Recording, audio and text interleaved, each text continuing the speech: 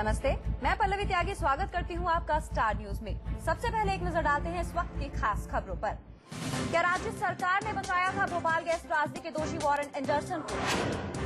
भारत श्रीलंका के बीच हुए सात करार, दोनों देशों सुरक्षा, ऊर्जा समेत कई क्षेत्रों में करेंगे सहयोग।